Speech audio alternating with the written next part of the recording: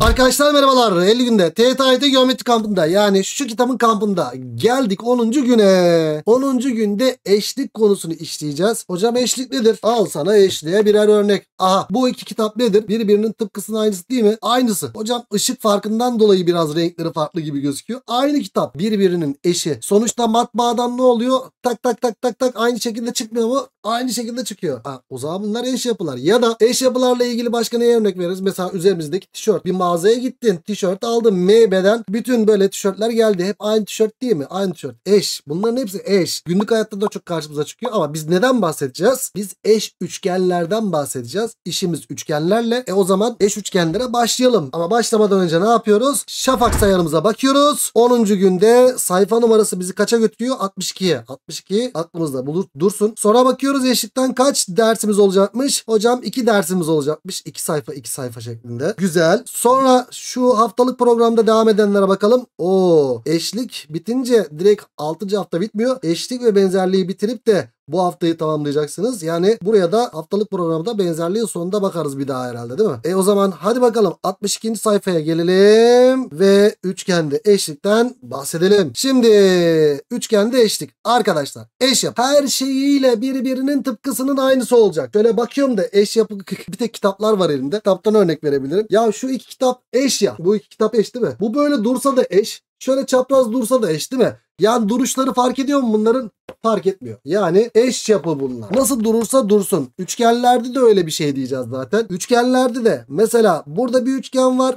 Burada bir üçgen var. Bütün her şeyiyle her şeyleri eşit olacak. Bütün açıları eşit olacak. Karşılıklı açıları eşit olacak. Karşılıklı kenarları da birbirine eşit olacak. Biz bunlara eş yapılar diyoruz. Duruşlarında bir değişiklik olabilir. Mesela burada 3 çizgi tabanda. Tamam doğru. Çizgi sağ tarafta bu sefer çizgi sol tarafta. Yani ters koymuşum sadece üçgeni. Ama bakıyoruz ki burada çizgi çift çizgi ve 3 çizgi var burada çizgi, çift çizgi ve 3 çizgi var burada. Bütün kenarlar eşit. Bütün açılar da birbirine eşitse nokta çizgi, çift çizgi, nokta çizgi, çift çizgi. O zaman biz bu iki üçgene eş üçgen diyeceğiz. Eş üçgenin temel yapısı da zaten bu. Buna dikkat edeceksin. Yani eş üçgende neye dikkat edeceksin? Bütün kenarların eşitliğine, bütün açılarında eşitliğine dikkat edeceksin. Bak bu sözümü unutma. Bunu böyle çok tekrar edeceğim. Benzerlik konusuna da gelince bütün açılar eşit. Bütün kenarlarda da oran var diyeceğiz sadece. Aynı şey. O yüzden benzerliğin bir altyapısı diyebiliriz. Lütfen buna dikkat. Evet o zaman bu iki üçgen bu şekilde eşmiş. Eşlik sembolü şu şekilde gösteriliyor. Ve burada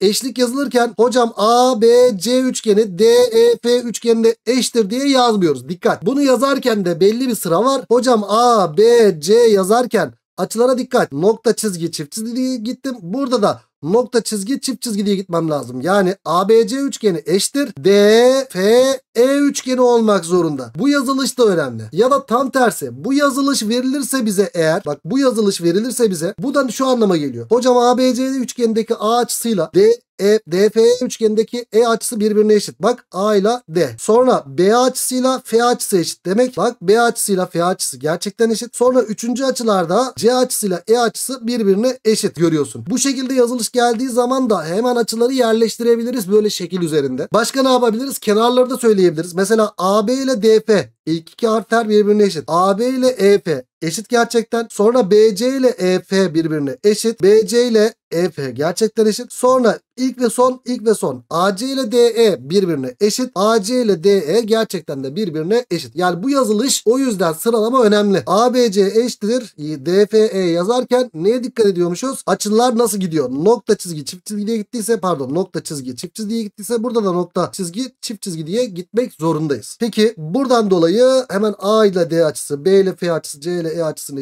eşitlerini söyleyebildik zaten söyledik. Veya kenarların da eşitliği AB ondan sonra BCFE ondan sonra AC ile de DE birbirine eşit diye söyleyebildik. Ki buradaki tanımdaki şeyi biz sorularda çok kullanacağız. O yüzden dikkat. Hemen öğrenme alanı. Şimdi öğrenme alanında öğrenme alanının birincisindeyiz. Şöyle bu büyüklük yeterli herhalde değil mi? Şimdi kartonlar eşse iki karton eş verilmiş. Hocam iki karton eş o zaman ne yapacağız burada? Şeklin çevresi nedir diye soruluyor bize. Hocam kartonun bir dik üçgen değil mi? Hipotenüsleri birbirine eşit midir? İki karton aynı dik üçgen. O zaman hipotenüsleri birbirinin tıpkısının aynısıdır. Hemen yazdım böyle bunları. Sonra kartonda hocam bir kısa kenar var. Kısa kenarlar da birbirine eşit olacak o zaman. E 6 ise 6'yı yazdım. Bir de uzun kenar var. Uzun dik kenar 8. Diğer uzun dik kenar da 8 olacak. E eş yapılar kenarların eşitliğini yazdık kardeş. E sonra ne çıktı burada? 6 8 10 üçgen çıktı. E burası da 10. Bizden ne isteniyor? Çevresi. Şeklin çevresi isteniyor. Hemen burada bir 14 var. Sonra 10 var 24. Sonra 2 var 26. Sonra bir de 10 var Kaç yaptı o zaman? 36 mı yaptı? Evet. O zaman cevabı 36 diye bulduk gençler. Geldik B şıkkına. B şıkkında da bu sefer hali hazırda verilmiş. ABC eşittir FED demiş. Bak bu yazılış önemli. Bu yazılış olduktan sonra ABC üçgenindeki açıların eşitliğini hemen yaz. ABC üçgenindeki A açısı 40. Öbüründeki hangi açı? F açısı. Bak A açısıyla F açısı birbirine eşit diyeceksin. 40 ise 40. Sonra bak burada 40 70 70 geldi burası. Hocam bu üçgende o zaman 40 70 70'tir diye yazabiliriz. Ya da sonra B açısıyla E açısı eşit diyeceksin. B açısıyla E açısı. Hemen E açısına 70 yazdın. Sonra iç açılar toplamından zaten burası 70 çıktı. D açısıyla da C açısı birbirine eşitlikle bu şekilde de gösterebilirdik. E bunları yazdık. O zaman kenarlık çıktı bize. Madem eş bir de şu önemliydi. Eş yapılarda ne dedik? Şunu söyledik ama bak dikkat. Hocam AB ile FE birbirine eşit ya da BC ile FC ile bu ne? ED birbirine eşit ya da AC ile FD birbirine eşit dedik ama şimdi şunu söylüyorum. Arkadaş şu eşitleri tamam açıları yazarken ne güzel bir şekilde kullandık bunu. Bunu öğrendik. Bir de eşlikte ve benzerlikte de biz bunu çok kullanıyoruz. Eşlikte şu da çok önemli. Aynı açının karşısındaki kenarlar birbirine eşittir. Mesela burada 40'ın karşısı var. Hocam 40'ın karşısındaki bu kenarla 40'ın karşısındaki bu kenar birbirine eşittir. Aynı zamanda burada 70'in karşısı var. 70'in karşısındaki bu kenarla 70'in karşısındaki bu kenar da birbirine eşittir. E aynı zamanda bu bir ikizkenar üçgen zaten. E o zaman çift çizgiye çift çizgi ise burası da çift çizgiye çift çizgi olmak zorunda. Çünkü aynı eş üçgen bunlar. E o zaman çift çizgiler dediğimiz bak bunlar eşit oldu. Bununla bunu eşitlersem olmaz. İki bilinmeyen var. Ama şununla şunu eşitlersem evet bir şey bulabilirim. Hemen yazayım o zaman oradaki eşitliği. Şöyle yazayım. Hocam orası 3x eksi 1 aynı zamanda 2x artı 3'e eşitmiş. Buradan da x kaça eşit oldu? 4'e eşit oldu. x yerine 4 yazın da 4 kere 3 12 eksi 1'den 11 yaptı burası. Hocam burası da 11 yapar. O zaman burası da 11 yapar. Yani y artı 3 eşittir 11 ise y'yi de buradan kaç buluruz? 8 olarak buluruz. Evet öğrenme alanında bu şekilde öğrenmiş olduk mu arkadaşım? Olduk. E o zaman hadi gel sorulara tam anlamıyla bakalım. Şimdi iki kenarın uzunlukları 12 kök 2 ile 17 birim olan ABC üçgeni. Bak şöyle bir ABC üçgeni var elimde ve kenarları da 12 kök 2'ye 17 verilmiş. İçine şekildeki gibi iki eş dik üçgen yerleştiriliyor. Bak eş dik üçgen yerleştiriliyor. Bak dik üçgene bak. Hipotenüsleri aynı mıdır? Aynıdır. Hemen hipotenüsleri aynı olduğunu göster. 90 derecenin karşısındaki kenarlar. Sonra kısa kenarlar aynıdır. Hocam bu kısa kenar. E, öbüründe kısa kenar hocam şurası olmaz mı? Hayır bak çizgiden büyük oldu. Kısa kenarın hangi kenar olduğu belli. Burası da kısa kenar. Sonra uzun kenarlar da birbirine eşit olacak. Yani ben şuraya bir A dedim. Sonra başka başka başka başka. Buraya da A diyelim. Buraya bir B dersem o zaman burası ne oldu arkadaşım? Burası A artı B iken burası da A artı B oldu. Bak sen şu işe. Hmm. Hocam burada bir ne çıktı? Dik üçgen var. 12 kök 2'yi kullanmam lazım. Nasıl bir dik üçgen? İkizkenar dik üçgen. Yani o zaman 12 kök 2'yi kök 2'ye bölmeyeceğim mi? Kök 2'ye böleceğim. O zaman burası ne yapıyor? 12 12 yapıyor. Hocam burası 12. Şurası da 12 oldu. Sonra bunun tamamını 17 vermişti. Verilen bilgileri kullanıyorum. E 12'si buradaysa buraya 5 kaldı. Sonra hocam burada 5 ve 12 var dik üçgenin kenarlarında. 5 12 13 üçgeninden burası da 13 oldu mu? Oldu. Bizden ABC üçgenin 3. kenarının uzunluğu soruluyor. ABC üçgeninde iki kenar buydu zaten. 3. kenarda 13 olmuş oldu. Yani cevap 13 oldu. Geldik örnek 2'ye. Şimdi verilen bilgilere bakıyoruz. Şöyle bana verilen bilgi bak şöyle bir bilgi var. Dikkat. Hocam şu üçgenler eş verilmiş. Hemen eş üçgenleri belirtiyorum. BCF üçgeniyle yani şuradaki üçgenle sonra hangi üçgen eş verilmiş? ECD. Şu üçgen eş verilmiş. Ama öyle kafamıza göre eş yazmıyorduk. Bu yazılım olduğu zaman neye dikkat ediyorduk? Kenarların eşitliği, açıların eşitliği. Mesela burada bu yazılımda hocam şu açı B açısıyla E açısı birbirine eşit. B açısına alfa dersem E açısı da alfa olmak zorunda. Yalnız dikkat. E açısı derken şuna da dikkat edin. Şu üçgendeki B açısıyla B açısının buradaki tamamını almadım. Bu üçgendeki B açısıyla bu üçgendeki E açısı birbirine eşit. Sonra öbürüne bakıyorum. Hocam C açısıyla C açısı birbirine eşit olacak. Evet ilk başta BCF'deki C açısı burası. Ee, öbür ECD'deki E açısı da burası. Bunlar da birbirine eşit. Hocam bunlar birbirine eşit ve toplamları da 180 olduğundan 90. 90 oldu bunlar bunlar. Değil mi? Açı eşitliğini yazıp 180 eşitlersek 90 çıktı. Sonra öbür açılarda birbirine eşit oluyor. Üçüncü açılarda otomatikman eşit oluyor. Ya da F açısıyla D açısı da eşit deyip hocam burası beta ise buraya da beta yazdık. Sonra bu açıları yazmak neden önemli? Çünkü eşlikte aynı açının karşısındaki kenarlar birbirine eşit. Hemen şuna bakıyorum. Alfanın karşısı 6. Burada da alfanın karşısı 6'tır. Sonra hocam burada ne var? Burada beta'nın karşısı yok da şöyle bir şey var. 10. 90'ın karşısı 10. E o zaman burada da 90'ın karşısı 10'dur. Sonra 6 10. 6 8 10 üçgeninden 8 çıktı burası. E, eşlikten dolayı burası da 8 olacak tamamı. Buraya ne kaldı o zaman? 2. Ya da yine 6 8 10 üçgeninden buraya 2 kaldı diyebiliriz. AB artı EF isteniyor bizden. AB uzunluğu da burası. AB uzunluğunu bulurken ne yapacağım? Hocam şu kenarlar. Bir kenar 8, bir kenar 15.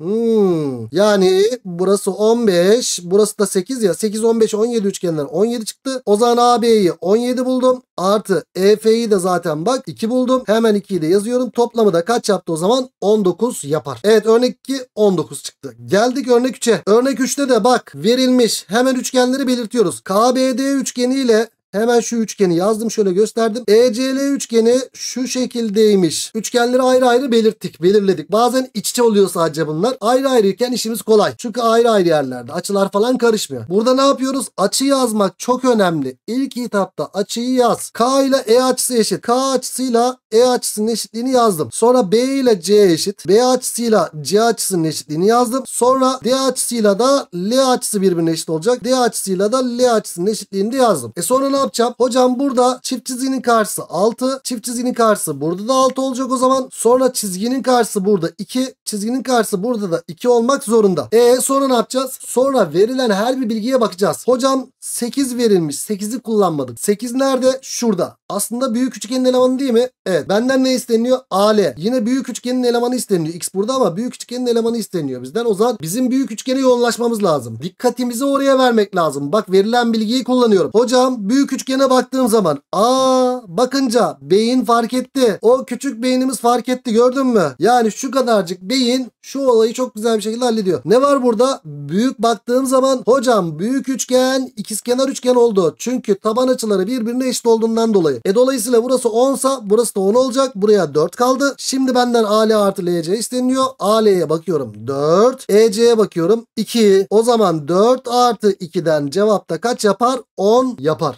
Yine verilen bilgi odaklı gidiyoruz. Ne 10'u? 6. 4 artı 2 10 yapar dedik ya. Evet cevap böylelikle 6 yaptı gençler. Eşliğin mantığı anlaşıldı mı? Anlaşılmıştır büyük ihtimalle. Şöyle bir büyütüyorum kendimi. Dostum eşlikte yapman gereken tek şey şu. Hemen eş üçgenler verildiği zaman açıları yazıyorsun. Açıların eşitliğini, kenarların eşitliğini yazıyorsun. Hatta en iyi bilmemiz gereken şey neymiş? Aynı açının karşısındaki kenarlar birbirine eşit. Bak bu cümleyi şöyle söylüyorum ama dikkat. Aynı açının karşısındaki kenarlar birbirine eşit. Bunun tersi de doğrudur eş üçgen. Eşit kenarları gören açılar da birbirine eşittir cümlesi de doğru. Tamam anladık eşliği. Şimdi ne yapıyoruz? Şimdi geçelim şeye eşlik teoremlerine. Evet eşlik teoremlerinden birincisindeyiz. Şimdi hali hazırda eş üçgenler verildiği zaman bize işimiz kolay. Niye? Çünkü ABC eş DEP diyorlar. Açıların eşitliğini yazıyoruz. Aynı açının karşısındaki kenarlar eşit ya da eşit kenarları gören açılar eşitleyip yorum yapıyoruz. Bunda bir sıkıntı yok. Ama hali hazırda böyle üçgen eşliğinde bunlar buyurun eştir hadi işlem yapın tarzında sorular karşımıza gelmeyebilir. Hocam bunlarda ne yapacağız işte? İşte bunlarda şunu yapacağız. 3 tane eşlik teoremimiz var. Benzerlikte de benziyor bunlar. Dikkat edin. Bunlardan birincisi ve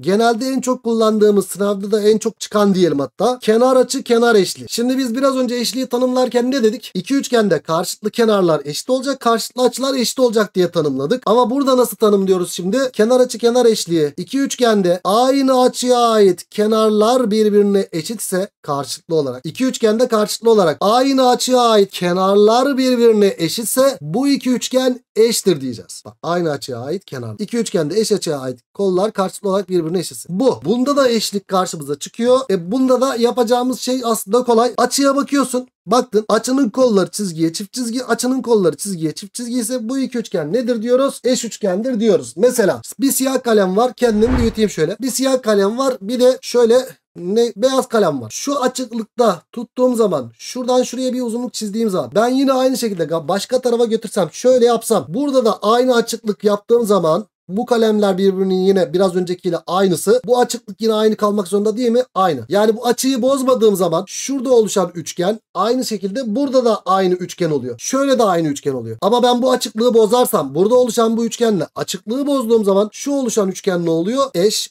olmuyor. Açıklık bozulmadığı zaman açı sabit kolları da sabit olduğu zaman buradaki üçgen her yerde aynı üçgendir. Biz bunlara ne diyoruz? Eş üçgen adını veriyoruz. İşte burada bunu anlatıyoruz. Ha, bunu bu da bulurken sorularda açıya bakıyorsun sadece. Açıya baktın. Aynı açının var mı iki üçgende? Var. Bunlar üç şişede olabilir. Aynı açının kolları çizgiye çift çizgi ise bu iki üçgen eş. Şimdi şimdi şimdi şimdi. Peki burada ABC eş, eşittir EFD diye yazmışım. Dur kendimi büyütmemişim. Büyütüm kendimi. Pardon küçültmemişim. Yani burada aynı açıya ait kenarlar çizgiye çift çizgi şeklinde gitmiş. Çizgiye çift çizgi şeklinde gitmiş. O zaman bu iki üçgen nedir? Eş üçgendir. Tamam. Devam edelim şimdi. Burada bir de şu ABC eşittir EPD şeklinde yazılmış. Tamam yazılsın. Bunu nasıl yazacağız hocam? Neye göre yazacağız? Şimdi sen bu kalıptan bu iki üçgenin eş olduğunu gördün ya. Eş olduğunu fark ettin ya. Bunlar eş. E eş yapılarda biz ne diyorduk? Aynı açının karşısındaki kenarlar birbirine eşit. Aynı kenarı gören açılar da birbirine eşittir diyebiliyorduk. E o yüzden alfanın karşısındaki bu kenarla alfanın karşısındaki bu kenarlar eşittir. Aynı zamanda çizgiyi gören bu açı beta ise çizgiyi gören bu açı da betadır. Çift çizgiyi gören bu açı teta ise çift çizgiyi gören bu açı da tetadır diyebiliriz. Yani burada dikkat et. A, B,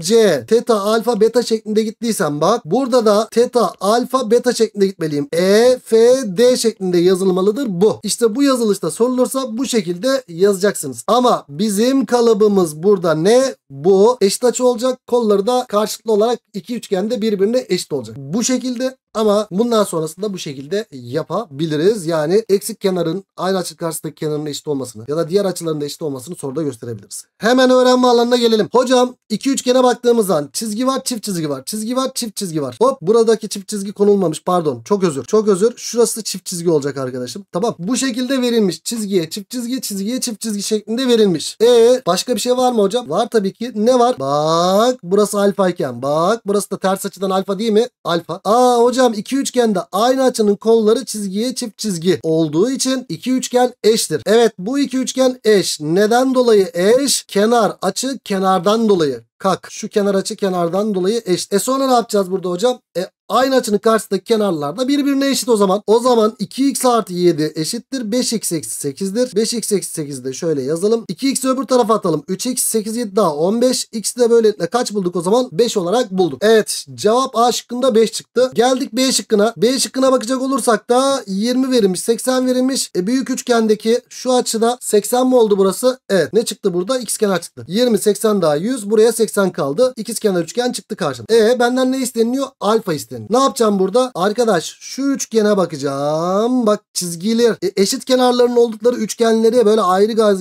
ayrı bir gözle bakmalı. Ya da aynısını biz şeyde de söyleyeceğiz. Benzerlikte de. Orantılı kenarların olduğu üçgenlere de ayrı bir gözle bakacağız. Baktık burada bu üçgenlere. Sonra bakarken bir baktım ki a 80'in kolları çizgiye çift çizgi. 80'in kolları çizgiye çift çizgi. Aynı açının kolları her iki üçgende de eşit olduğu için bu iki üçgen ne oldu? Eş üçgen oldu bunlar. Neden dolayı eş oldu? Kenar açı kenardan dolayı. Eşliğin mantığı neydi? Aynı açının karşısındaki kenarlar birbirine eşitti. Ama bu eşitlik bir işime yaramadı. Sonrasında ne yapacağım? Bir de aynı kenarı gören açılar da birbirine eşit değil miydi? Evet. Yani ben buraya x açısı dersem arkadaş çizgiyi gören şu açı x'e çizgiyi gören bu açı da x değil midir? Evet. Başka yapacak bir şeyim yok. E sonrasında hocam şurası y ise buraya da y yazabiliriz aslında. Ya da gerek yok. Şu üçgende hocam iki iç açı bir dış açı. Yani x artı 80 eşittir x artı alfa deyip x'ler nanay olur. Alfayı da 80 derece olarak bulabiliriz. Ya da yine şu açıya y diyelim. O zaman burası da y olur. Çünkü eş. Açılar da eşit olacak. E sonra baktığım zaman şurada sarı üçgene baktığım zaman x artı y artı 80 eşittir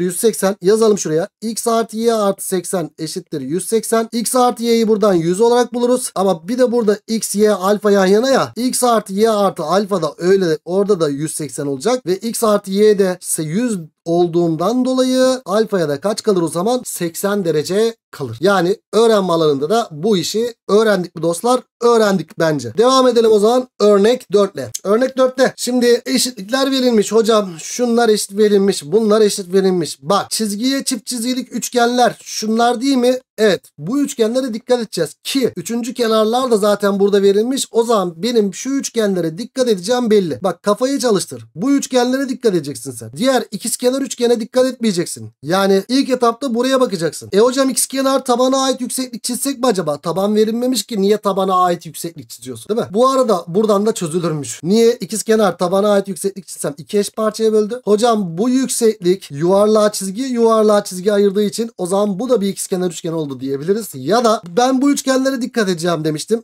E bu üçgenlerde şuradaki x kenarlığı kullanacak olursam hocam şu açıyla neredeki açıyla şu açıyla bu açı birbirine eşit mi? Eşit. A 180'e tamamlayan açı, çizgi 180'e tamamlayan açısı. Burada da çizgi olur o zaman. Çünkü noktanın 180'e çizgi tamamlayan çizgi ise ya da nokta ile çizginin toplamı 180 ise diğerinde de nokta ile çizginin toplamı 180 olacak. O yüzden buraya çizgi kaldı diyeceğiz. E hocam bu üçgenlere dikkat etmiştik zaten. Çizginin kolları çizgiye çift çizgi, çizginin kolları çizgiye çift çizgi oldu. Dolayısıyla bu iki üçgen ne oldu? Eş üçgen oldu. Neden dolayı? Kenar açı kenardan dolayı. Çünkü aynı açının kolları her iki üçgende de karşılıklı olarak birbirine eşit. Alfanın kolları çizgiye çift çizgi olduğundan dolayı. E madem bunlar eş buradaki çizginin karşısındaki kenarlar birbirine eşittir. Yani 5x eksi 3 eşittir x artı 9 olur. Buradan 4x eşittir 12 olur. X'i de böylelikle kaç buluruz? 3 olarak buluruz. Evet örnek 4'ü 3 bulduk. Geldik örnek 5'e. Hmm. Hmm. Şöyle bir bana bak bakayım. Bu soru sınavda çıkmış bir sorunun benzeri. Daha öncelerinde böyle böyle bir 7-8 yıl önce falan. Ama sınavda çıkmış sorular da böyle daha değişik versiyonlarıyla da karşımıza çıkabiliyor ya. O yüzden öncelikli olarak sen şu soruya bakabilir misin? Ama soruya bakarken şunu tavsiye ediyorum. Kenarlara dikkat et. Kenarlara dikkat et. En azından eşkenar üçgen verilmiş çift çizgiye A de diğer boşluğa B de kenarlara dikkat edip ona göre yorum yap soruda. Tamam. Hadi ben çözüme dönüyorum. Şimdi ABC eşkenar üçgen verilmiş. Eşkenar üçgen olduğu için bütün açılarımız kaçar derece? 60, 60 ve 60'ar derece. Bir de eşkenar üçgende ne diyoruz? Bütün kenarlar da birbirine eşit diyoruz. Eyvallah. Devam edelim şimdi. Başka? Hocam bana bunlar verilmiş. Buradaki eşitleri ben soruda kullanacağım. Yani ben buraya bir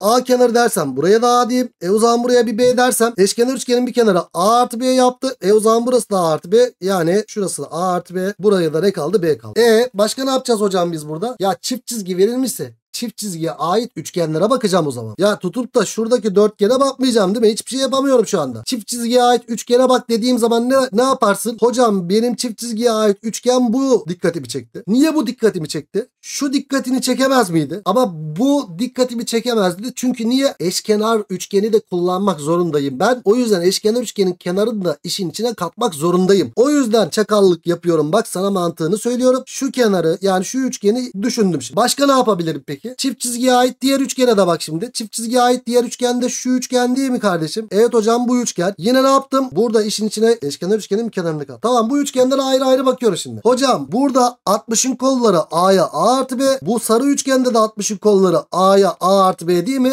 Aa evet o zaman her iki üçgen ne oldu? Kesinlikle ama kesinlikle kenar açı kenardan eş oldu. Evet sarı üçgenle yeşil üçgen tekrar söylüyorum 60'ın kolları A'ya A artı B 60'ın kolları A'ya A artı B olduğundan eş. Eş yapılarda ne diyordu? Kenarların eşitliği. Mesela 60'ın karşısındaki bu kenarla buradaki 60'ın karşısındaki bu kenarı eşitliğini söyleyeceğiz. Ki eşitlikler orada bir işime yarıyor mu yaramıyor. O zaman açılara dalacağız. Açıya dalalım şimdi. A'yı gören şuradaki sarı üçgende mesela ben ne diyeyim? Beta açısı diyeyim. A'yı görene beta dersem Alfa çünkü burada kullanılmış ya o yüzden. Buradaki üçgende yeşil üçgende de A'yı gören beta değil midir? Evet. O zaman geldim buraya beta'yı yazdım. Aa hocam şuradaki açının tamamı 60 dereceydi. Buraya 60 eksi beta kaldı. Hep şuradaki sarı yere bakar mısın? İki iç açı bir dış açı değil mi? Evet. E o zaman sen burada beta ile 60 eksi beta'yı toplarsan kaç yapar? 60 yapar. Alfa'ya da kaç derece kalır? 120 derece kalır. Yani cevap 120 yaptı. Örnek 5'te. Geldik örnek 6'ya. Bak önemli bir soruydu örnek 5. O soruya bir daha bak bence. Böyle eşkenar verildiği zaman eşkenarı da işin içine katacak kenarı üçgenlere dikkat etmelisin. Burada ABC ve AED birer eşkenar üçgen verilmiş. Hemen eşkenarlıkları gösteriyorum. Şöyle çift çizgi şeklinde gösteriyorum mavi kenarı, mavi kenarlıyı. Turuncu kenarlıyı da şöyle mavi renkle gösteriyorum bu sefer. Yani şu kenar şöyle yuvarlak, yuvarlak, yuvarlakla gösterdim. E ne yapacağız şimdi burada? Bak bunun da benzeri ÖSYM tarafından soruldu. Dikkat. Ne yapabiliriz burada? E tamam eşkenar üçgenin bir kenarı kaç? 3. Çift çizgi dediğimiz 3. Şimdi burada bir yorum yapmalıyız. Ne yapmalıyız? Ne yapacağız? Ya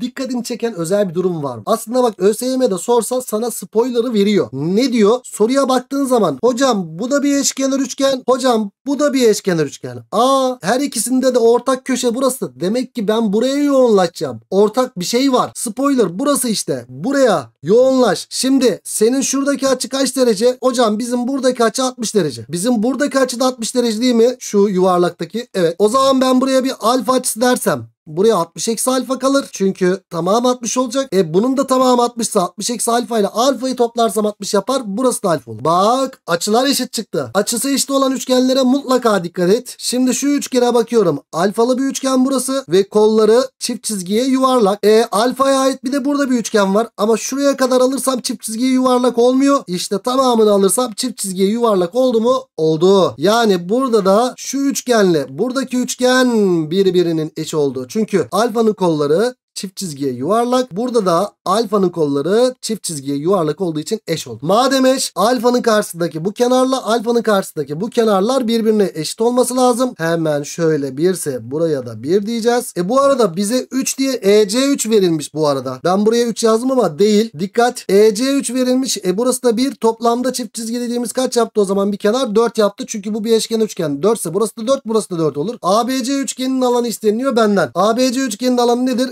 Eşkenar üçgenin bir kenarını 4 bulduk. A kare kök 3 bölü 4 yapar. 4'ler sadeleşti. Cevap da böylelikle 4 kök 3 çıkar. Evet güzel bir soru. Tekrar söylüyorum. Benzeri sorusu ÖSYM tarafından soruldu. Ve geldik örnek 7'ye. Aa bu sene eklediğim sorulardan biri. Çok güzel bir soru. Gerçekten çok güzel. Soruyu okuyalım. Tepe açısı 20 derece olan bir ikizkenar üçgenin her bir kenarı bir kere tepe açısı 20 ise taban açıları kaç oldu? 80-80 oldu. Şuraya bir 80'i 80'i yapıştıralım. Sonra ne diyor? Tepe açısı 20 derece olan bir ikizkenar üçgenin her bir kenarı kenarının doğrultusunda uzatılıyor. Bak şu kenar kenar doğrultusunda uzatıldı. Bu kenar kenar doğrultusunda uzatıldı. Bu kenar da kenar doğrultusunda uzatıldı. Bunu diyor bize. Uzatılan kenar İkizkenar üçgenin tepe noktasından geçiyorsa tabanı kadar. Evet uzatılan kenar böyle tepe noktasından geçiyorsa uzatılan kenar kadar. Yani e, geçiyorsa tabanı kadar diyor. Tabanı şöyle ben yuvarlak diyecek olursam o zaman burası ne oldu? Yuvarlak oldu. Ya da yuvarlak nereden çıktı ya? Çizgi diyelim şuraya. Ben bu tabana çizgi diyecek olursam o zaman burası ne olacak?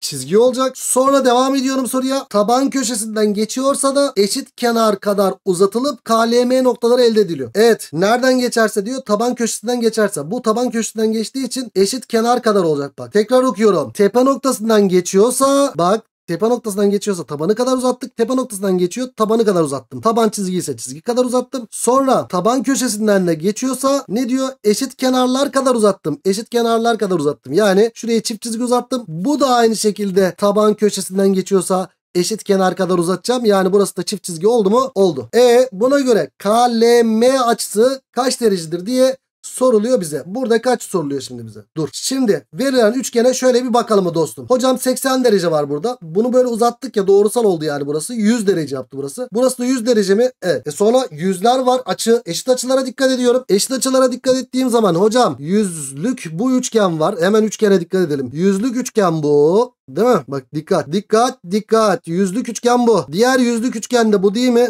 Evet hatta farklı bir renkle yapayım onu. Diğer yüzlük üçgende bu. Hocam süper bir soru ya. Böyle bir soru yok bak. Hiçbir yerde yok. Dikkat. Hocam her iki üçgende de yüzün kolları çift çizgiye çift çizgi artı çizgi. Bak yüzün kolu yüzün kolu çift çizgiye çift çizgi artı çizgi oldu. Yani şöyle buraya A diyecek olursan şuraya B diyecek olursan çift çizgi dediğim B ya. Yüzün kolu B'ye A artı B yüzün kolları B'ye A artı B olduğu için sarı üçgenle yeşil üçgen eş üçgen oldu mu? Oldu. Madem eş üçgen aynı açının karşısındaki kenarlar birbirine eşittir. Yani burada yüzün karşısı burada da yüzün karşısı birbirine eşit olacak. E sonra ne yapacağız hocam? Takıldık kaldık. Demek ki eşlikteki her şeyi kullanmadık. Her bilgiyi kullanmadık. Aynı kenarı gören açılar birbirine eşit. Mesela ben buraya bir A açısı dersem çift çizgiyi gören değil midir bu? Çift çizgiyi gören A ise çift çizgiyi gören burası da A değil midir? Evet. Sonra şuraya bir B dersem hocam bu da çizgi artı çift çizgiyi gören çizgi artı çift çizgiyi gören burası da B değil midir? Evet. Dikkat dikkat. Hocam hocam sarı üçgende A artı B neye eşit 80 eşit değil mi? Ya da A artı B artı 100 eşittir 180'den A artı B 80 oldu. A artı B'yi biz 80 bulduk ve ve ve şuraya bakar mısın? Dikkat dikkat burası A artı B değil mi? Evet A artı B bak 80 bulduk burayı. Ve bu bir ikiz kenar üçgen. Tepe açısı 80 ise 180'den 80 çıkart 100. 2'ye böl. Tabii ki buradaki açılar da 2'ye bölünmüş hali 100'ün 50-50 yapar. Benden de buradaki açı isteniyor. Cevap böylelikle 50 yaptı. Gerçekten ama gerçekten çok güzel bir soru dostlar. Mükemmel bir soru. Cevabı da böylelikle 50 bulduk. Ya şu soruya bir daha bakın. Kendiniz bir daha çözün. Çok hoş bir soru. Keşke durdurup sana çözdürseydim ya. Keşke. Ama çok kaliteli bir soruydu gerçekten. Evet. Böylelikle bir sonraki sayfa açı kenar açı eşliğine geldik. Ama bunu bir sonraki derse bırakalım. Bir sonraki derste ne yapacağız? İki tane daha eşlik teoremi işleyeceğiz.